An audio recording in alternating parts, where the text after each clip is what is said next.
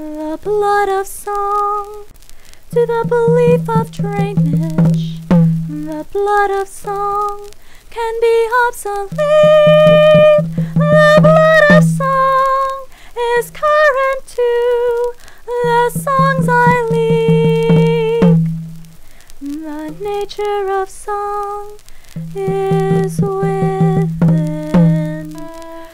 the portrait that I lay flat in the land, imprinted in the sand.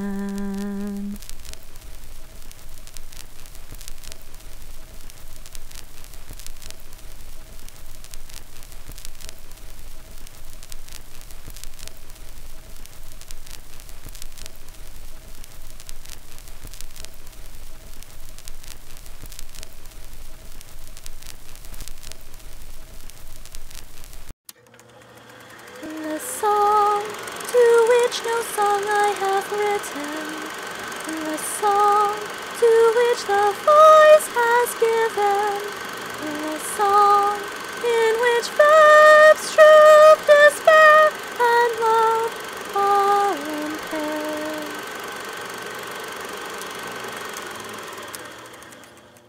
What was your opinion regarding Fidel Castro and the Bay of Pigs incident in the early 1960s? At that age, probably a very naive opinion. Uh, being all of 18 years old, uh, 19 years old, when the crisis came about, it was really more one of just trying to believe that uh, that our country was doing the right thing, and in respects to uh, what Castro had done, which was uh, pretty much wipe out half of the country, at least what we were heard. Uh, the attitude was that uh, he was uh, a threat to our country and a threat to to the democracy, democratic countries in, in general.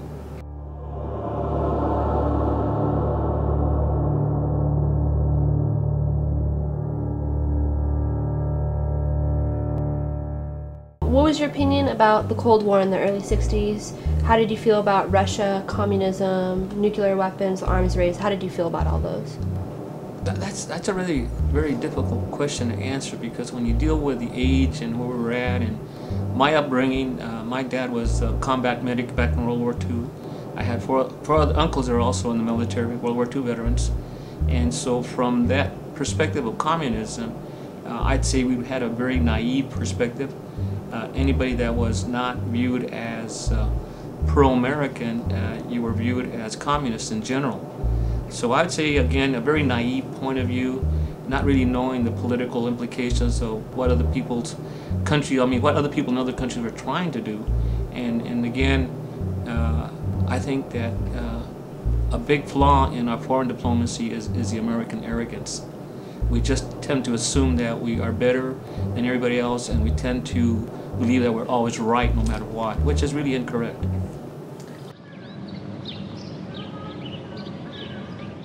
Uh, very, very frightened. Uh, it was one of those things that we knew as far as the training that we got and the uh, the potentiality of, of a third world war was always in our mind. I mean, that was our training because the guys that we had and the units that we were with, once we were on a mission, it meant nuclear war, which was really a, case of really the unknown.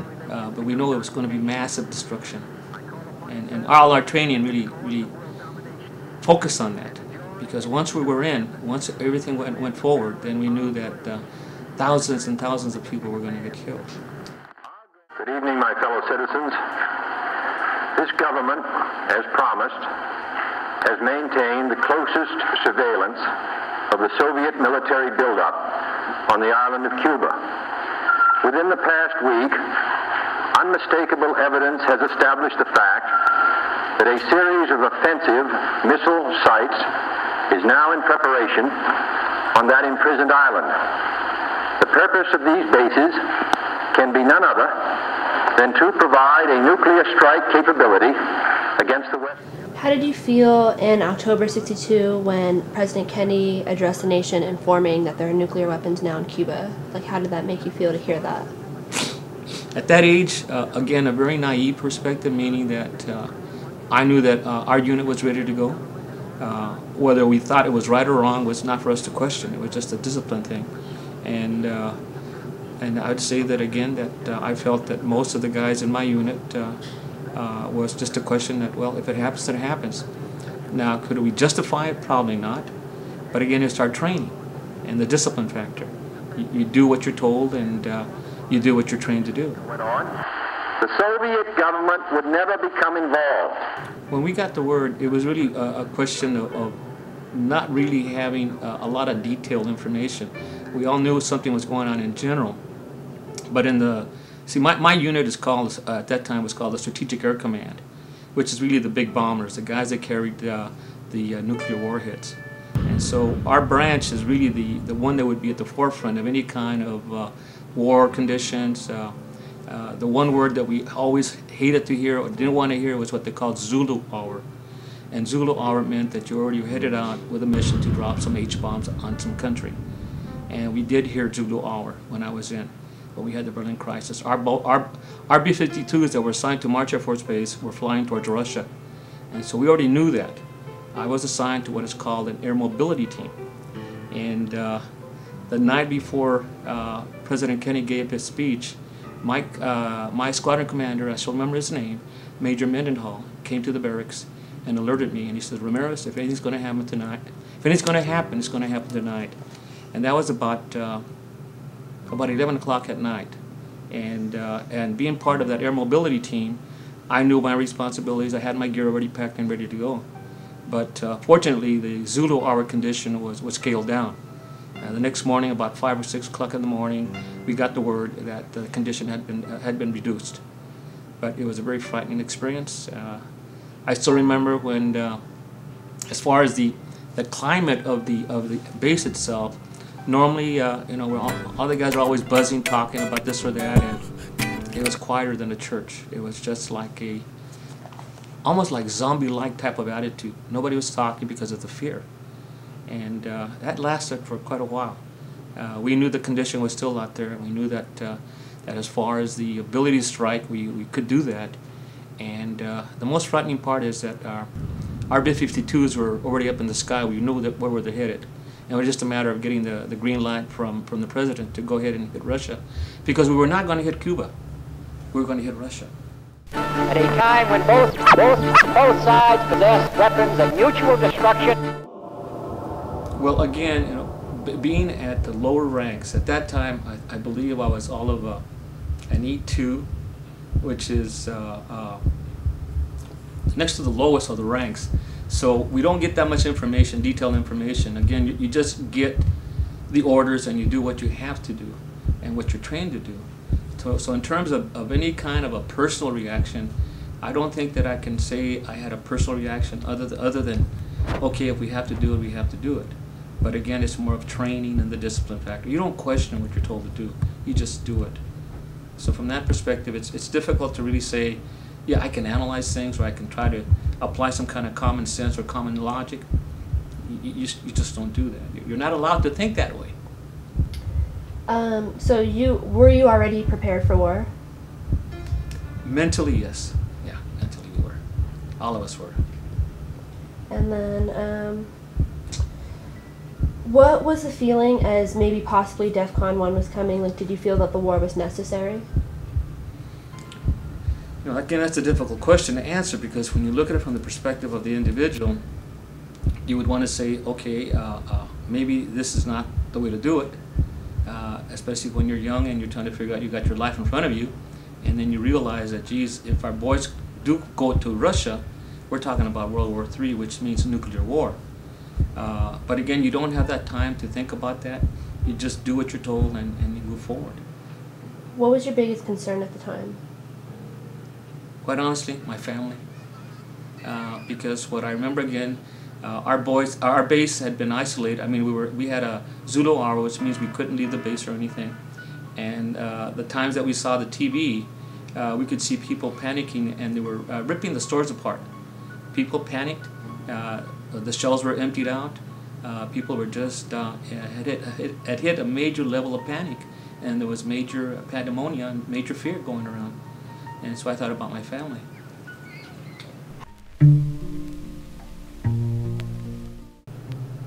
Elated, uh, big relief. Uh, I think at, at that time, again, it was more a sense of trying to figure out what could have happened and not really understanding the, the, the true magnitude of what a Third World War would have meant other than mass destruction. So it's just a, a big collective relief from all of us. And uh, I still remember uh, uh the whole sense of the, of the military life changed dramatically at our base. This was at March Air Force Base. And a lot of us were just going around slapping each other and saying, glad it's over with. My name is Richard Michael Ramirez, and when I left the Air Force, uh, I was an E4, or what they call an Airman First Class. Okay, um, what were your duties in the Air Force? My specialty was what they call an MOS, was a supply specialist, and uh, basically that was my assignment. And what I did was really provide uh, a lot of equipment for the uh, B-52 bombers and the KC-135 uh, aircraft refuelers. And where were you stationed, and how long was your term? I was stationed at uh, March Air Force Base for two years, and then I was stationed overseas at uh, what they call Torrejon Air Base in uh, Spain, and there I was there for a little bit over three years. What were the years you were stationed from? From March, I was uh, late December '61 till uh, December of '62, and then uh, overseas I was there from this January, middle of December of '63 till middle of December of uh, 66. That's again difficult to say because uh, as a young man and at that time, uh, my political view was very limited, very narrow. Uh, what I do feel though is that, that he held his ground and he really did, did what I think was per, very, a very powerful, powerful uh, decision, and that is to hold his ground. Uh, whether it was the right decision or not, uh, who knows? But I can tell you that uh, as far as from the military perspective at that time of my life, I felt that he made the right decision. Uh, subsequently, of course, when I got out and got an education and read what I read about the whole incident, then my, my perspective was much broader. But at that time of my life, it was just more a case that he's our military, military commander, and again, you do what you're ordered to do. What, or and if you have any opinions on the Russian Premier Khrushchev and his actions during the crisis, what did you feel about what he was doing? Well, again, it's, it's a matter of, of trying to understand the period of time, and, and his behavior was completely, in, in my mind and the mind of most of the guys in my unit, was that he was wacko. Uh, the idea of slamming his shoe on a pedestal when he's making those comments and going rather uh, uh, forget the term. Uh, I think it was just, we used to call it, uh, oh gosh, something 11. But it's a military, military term that we used to use when, when a fellow went, uh, uh, lost it and went psycho on us. And that's really what we thought about Khrushchev, that he had gone psycho, uh, lost perspective of what uh, he was trying to get himself into. And again, not understanding the political implications our, uh, my general perspective, and I think the guys in my unit had the same general perspective, that this guy was mentally sick and he needed uh, to be replaced.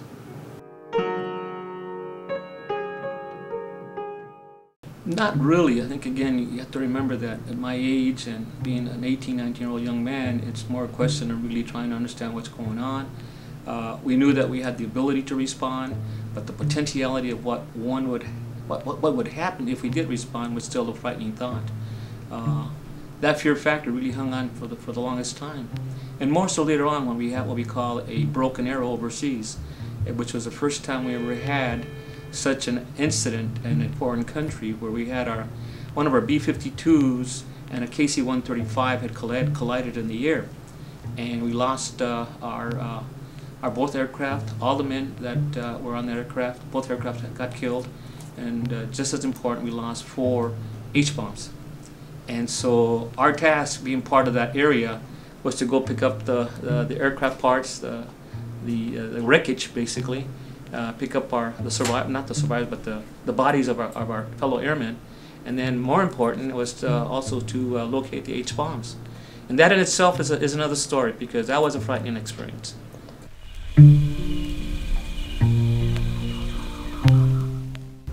Again, I have to uh, uh, constantly bring up this point about my age and, and, and the mindset at that time.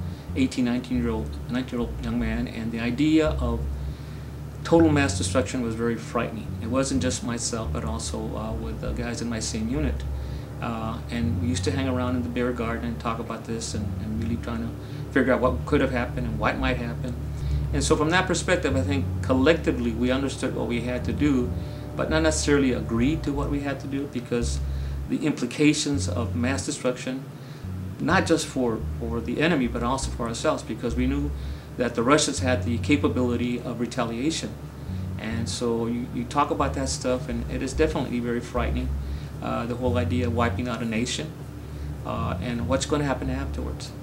And I think, again, from a very, very, very narrow perspective, we, we knew what we had to do, we knew we could do it. The question was, is, was really, was it worth it? Is it worth it uh, of acting out in a bold move of initiating nuclear war and then not being accountable or responsible rather for the consequences.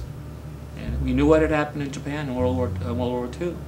The consequences are still being felt. Fond memories, I had many of them.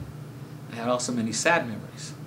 But if I were to say a fond memory, uh, I'd say perhaps uh, one of my fondest memories just being with my uh, my buddies, my partners, uh, celebrating life for what it is, uh, being to a certain degree irresponsible, not having a family, but only doing one thing, and that is serving your country.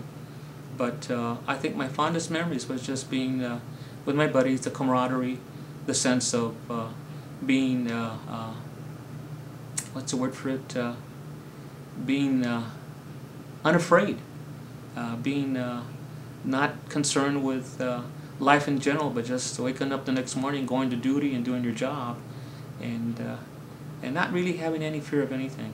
The art of song is to which I sing when thoughts are high. The art of song to all who know may forever be until Will lets go. And it's okay that we have you on camera? Yeah, it's Okay. And can you recall the Cuban Missile Crisis, October 1962? It's a little before my time. I know what it, know what it is basically, but I don't know a lot about it. Um, how old were you at that time? It was before I was born. State your name and that it's okay for us to have you on camera. Yeah, my name is Vernie Williams, and yeah, it's okay. Um, I was in the Army then, stationed in uh, Chicago, Illinois, at Fifth Army headquarters, and basically uh, we were told to um, stand by TV sets for the announcement. And before it started, since it was a, a headquarters, they started alerting certain people days ahead of time that had top secret clearances, and some of them were flown out that, that very that night before, in fact. So we didn't know what was going on. Panic. No, I wasn't really scared. It was just the idea of not knowing what was going to happen next. I mean, I'd been in service for about four years and so I I was E5 you know, sergeant. We're doing a we're doing a short film documentary about the Cuban Missile Crisis, October 1962. Um, you mind if we ask you some questions about that? I don't understand. Um, do you, can you recall anything about the Cuban Missile Crisis in 1962? Yeah. I can't hear you, dear. I'm having trouble with my hearing. No, that's fine. It's a Cuban Missile Crisis. Tell us where you were, what you were doing when you found out that Fidel Castro had bombs. Beats the hell out of where I was at. I was home, probably. Part of my office, you know. I wasn't too worried. You were really. No, I wasn't too worried, although I was Oh. building a bomb shelter for myself at the time, so I must have been worried a little bit. You were building a bomb shelter Yeah. because you were scared of the nuclear war. Yeah, the initial hits, you know. We never did finish it. And, you know, you get the fallout shelters. And Okay. They had the siren going every time, every month for testing, and we like, oh, well, that's the time they could attack. Nobody pay attention, you know? Yes. Yeah. How old were you at the time, and can you recall any memories of it? I don't remember how old I was. I do remember that it was after Kennedy's election, like a year later. You know, we had to do a lot more duck and cover drills at school. They, everybody thought it was going to happen, and uh, it was a very tense time.